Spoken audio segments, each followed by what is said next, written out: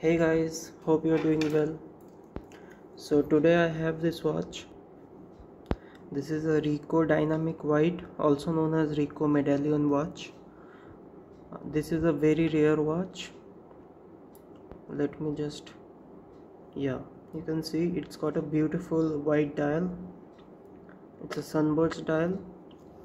And this is an aftermarket bracelet. This uh, gold markers look really beautiful. You can see it's an automatic watch.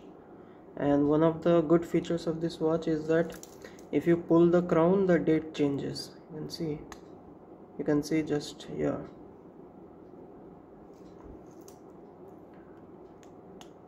Yeah like this. There is a very rare feature in the watch and it looks really beautiful.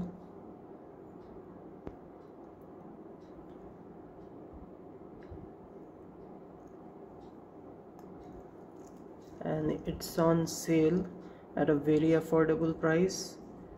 So if anyone interested can ping in the comments.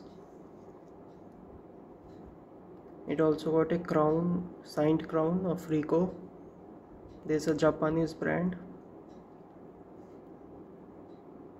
so that's it guys for this video. Hope you like this watch. And stay tuned for more watches. Thank you. And don't forget to subscribe to the channel